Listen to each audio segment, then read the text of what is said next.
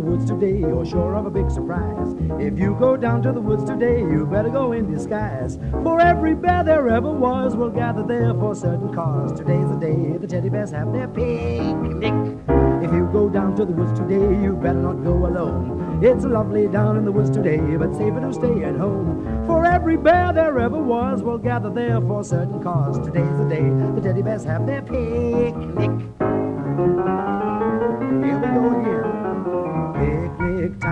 For teddy bears. The little teddy bears are having a lovely time today. Watch them catch them unawares and see them picnic on their holiday. Say, see them gaily get about. They love to play and shout, they never have any cares. At six o'clock, their mommies and daddies will take them home to bed, cause they're tired little teddy bears. Oh! Thank you.